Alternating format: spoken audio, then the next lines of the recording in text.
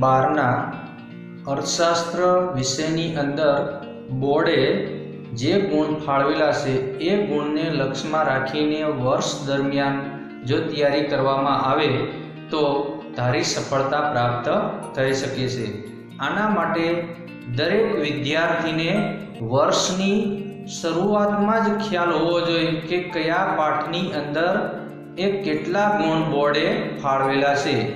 તો એ ગુણને આધારે વર્ષ દરમિયાન તમે એ પાઠની સારી રીતે તૈયારી કરી શકશો. તો આજે આપણે આ વિડીયોની અંદર એ જ વાત કરવાની છે જે નવા પરિરૂપ મુજબ જે ગુણ ફાળવવામાં આવેલા છે બોર્ડ દ્વારા કે કયા પાઠની અંદર કેવી તૈયારી કરવી, કેટલા પ્રમાણમાં કરવી અને કેટલા ગુણ ફાળવેલા છે એના વિશે વાત કરવામાં આવેલી છે. તો પાઠ વાઇઝ ગુણભાર આ વિડીયોની અંદર આપણે મેળવીશું. બોર્ડે કયા પાઠની અંદર કેટલા ગુણ ફાળવેલ છે તેની માહિતી મેળવીએ. ધોરણ બારનો અર્થશાસ્ત્ર વિભાગનો પહેલો પાઠ છે અર્થશાસ્ત્રમાં આલેખ. બોર્ડે આ પાઠને આઠ ગુણ ફાળવેલા છે. જ્યારે બીજો પાઠ છે, વૃદ્ધિ અને વિકાસના નિર્દેશકો, જેમાં બોર્ડે દસ ગુણ ફાળવેલા છે. ત્રીજો પાઠ છે, નાણું અને ફુગાવો, જેના આઠ ગુણ ફાળવવામાં આવેલ છે. ચોથો પાઠ છે બેન્કિંગ અને નાણાકીય નીતિ, જેમાં આઠ ગુણ ફાળવવામાં આવેલા છે. પાંચમો પાઠ છે ગરીબી, જેને બોર્ડે દસ ગુણ ફાળવેલ છે.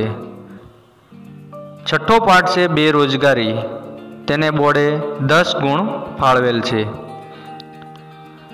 સાતમો પાઠ છે વસ્તી, તેને દસ ગુણ ફાળવાયેલા છે.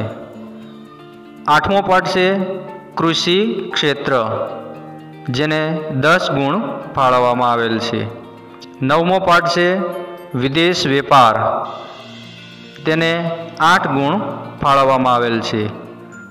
દસમો પાઠ છે, ઉદ્યોગ ક્ષેત્ર.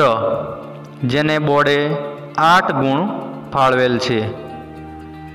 અને છેલ્લો આપણો અર્થશાસ્ત્રનો અગિયારમો પાઠ છે, ભારતીય અર્થતંત્રમાં નૂતન પ્રશ્નો. તેમાં બોર્ડે દસ ગુણ ફાળવેલ છે. આ રીતે કુલ સો ગુણ ફાળવાયેલા છે.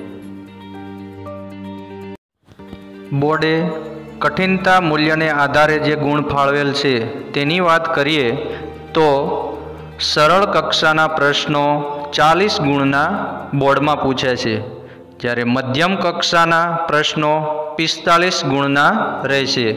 અને કઠિન જે પ્રશ્નો છે તે પંદર ગુણના પૂછવામાં આવશે. આ રીતે સો ગુણ એ કઠિનતાના મૂલ્યને આધારે એ પેપર જોવા મળશે.